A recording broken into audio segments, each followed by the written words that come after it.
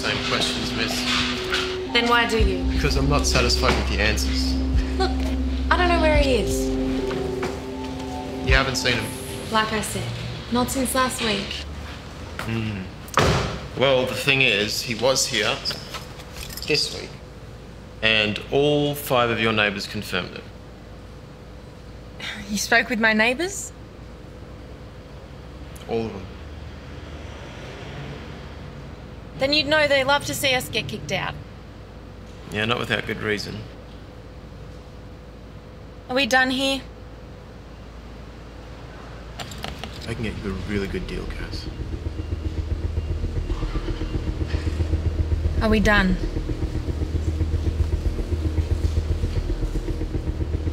Yeah.